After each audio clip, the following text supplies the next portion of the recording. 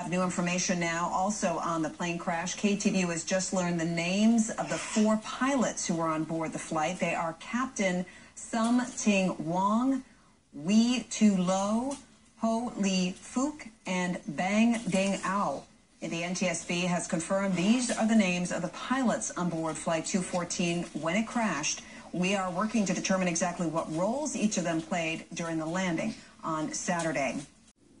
Earlier in the newscast, we gave some names of pilots involved in the Asiana Airlines crash. These names were not accurate despite an NTSB official in Washington confirming them late this morning. We apologize for this error. Also coming up after